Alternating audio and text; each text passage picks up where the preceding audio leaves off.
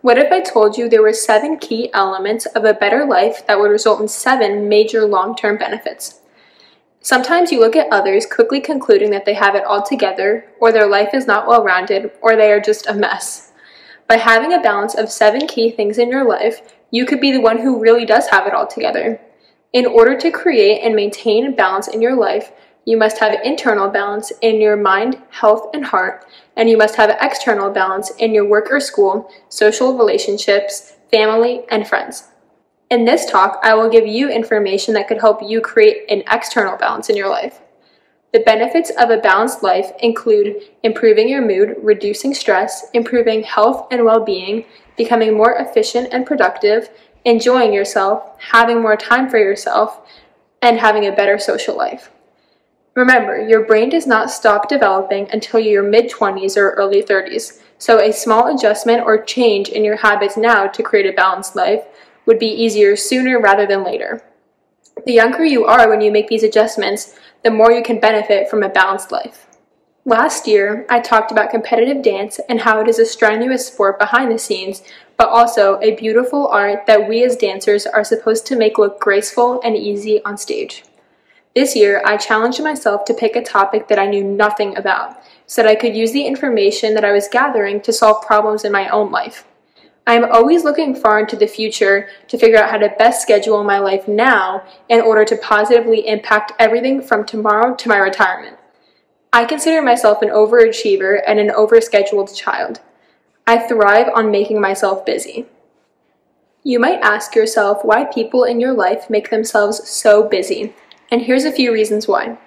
It has been proven that busyness boosts productivity, and I'm sure you have seen it in your daily quarantine life. Throughout the quarantine that this global pandemic has caused, I have been able to find a little bit more downtime, which has benefited my health. Many of us might have found that our busyness died down when all of our activities came to a halt. If you have benefited from this quarantine in any way, consider talking with your family about adjusting your activities for when this is all over in order to keep a healthy balance with some necessary downtime. Most kids have to complete their homework in a certain time frame before they head to their next activity, but without any extra commitments, they become less motivated to do their work. Some people are always looking into the future and they want to know that later on in their life they won't look back and regret the time that they wasted by not doing enough. What does all of this busyness result in? Let's address the main source of our down emotions, stress. And the main source of our stress is pressure. Where does pressure come from? Personally, the majority of the pressure that I feel, I put on myself. Many kids feel pressure from their parents, guardians, teachers, or coaches. Whether you are self motivated or need that extra little push from another figure in your life, the amount of pressure that some kids feel now can be unbearable. A lot of high schoolers feel pressure coming from the simple thought of college or anything else in the future. Sometimes I feel that everything I'm doing now will determine the next 50 years of my life, and let me tell you, it's a really scary feeling. What you do now could potentially affect the rest of your life, and if that doesn't stress you out of your mind, the only thing that I can tell you is I'm insanely jealous of your talent. After this year, I will start planning for college. In college, I will look for internships, and after college comes the start of my career.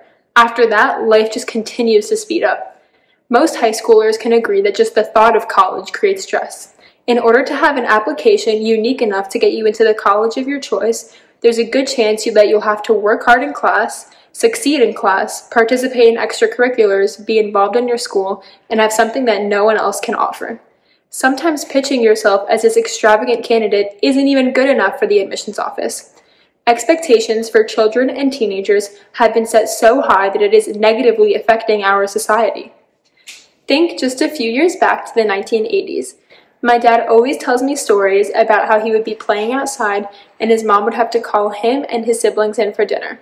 He said that they would come home from school after practice, help out with chores around the house, hang out with their neighbors, and play outside until their mother called them in for a dinner where the whole family would sit at the table at once.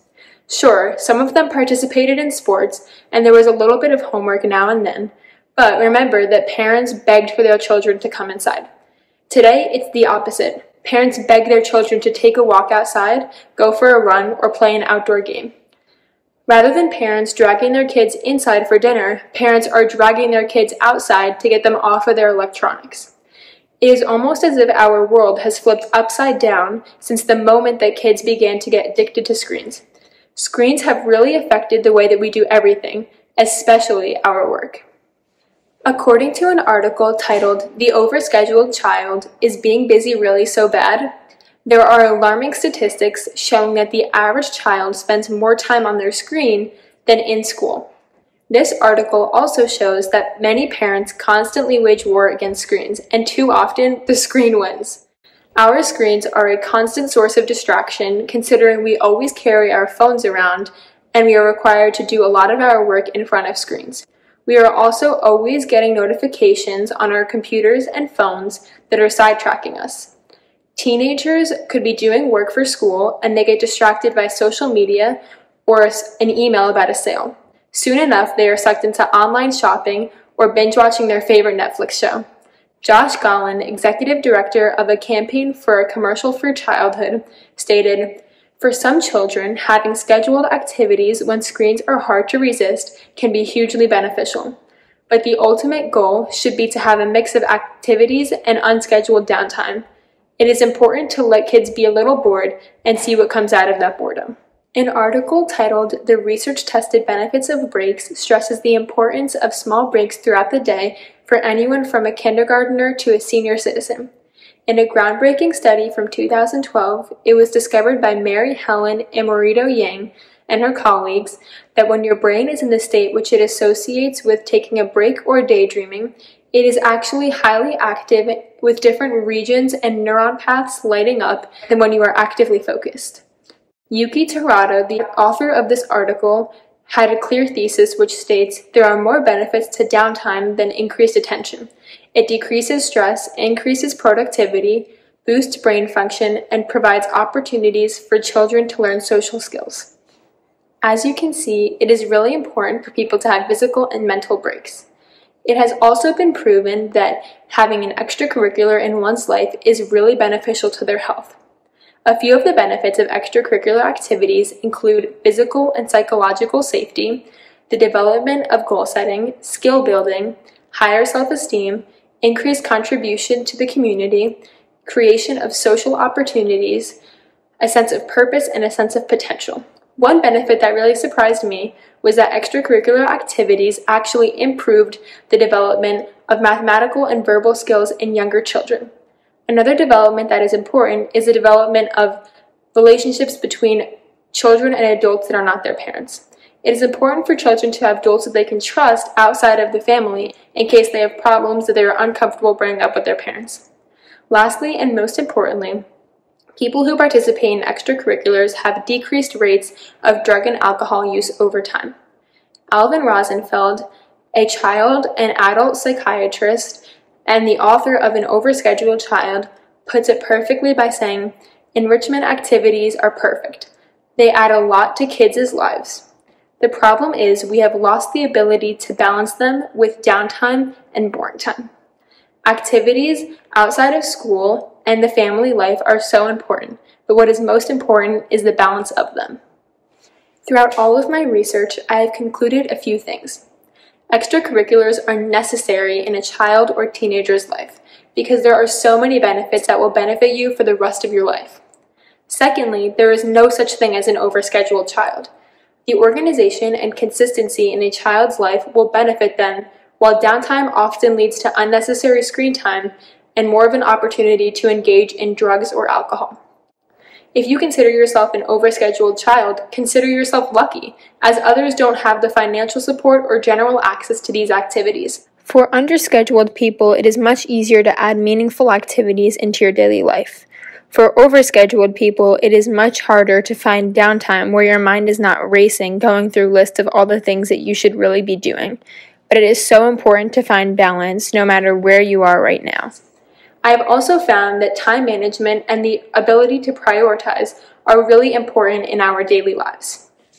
Finally, I have learned that the thing that will benefit your life the most now and forever is balance. If you are like me and you see yourself as overscheduled, it is hard for you to fit everything in. I have learned that I need to strive for balance in my life by taking out unnecessary screen time, making room for my family and friends, taking a step back and acknowledging that there is a possibility of too much, making room for necessary downtime, being grateful for the gift of abundance rather than scarcity, and ultimately continuing to dream about the life which I am creating for myself now. I started my research as more of an academic exercise, but at some point I realized it was becoming more personal. I began to see that even though I liked my busy life, something was missing, and that thing was balance. Balance in your life will evolve and change as the things around you change. For me, striving to find balance in my life has definitely benefited me in the seven ways that I brought up in the beginning of this talk. I have seen a lot of improvement in my mood, reduction in my stress, improvement in my health and well being. I've become more efficient and productive. I've enjoyed myself. I've had a little bit more time for myself, and I've definitely had a better social life. I once considered myself overscheduled, and I knew that overachieving was in my DNA. Thanks, Dad. But putting a plan in action to balance my activities has veered me away from dark roads such as depression, drugs, alcohol, and self harm. Would you consider yourself a busy person? Do you think you have too much going on, not enough going on, or just enough? Where do you fit into all of this? How can you create balance in your life? I really hope that the information that I gave you today can help you find a healthy balance in your life. Please consider looking at the articles which I have linked in the chat on the side to find more ways to benefit your life. Thank you so much for listening. Stay safe and stay healthy.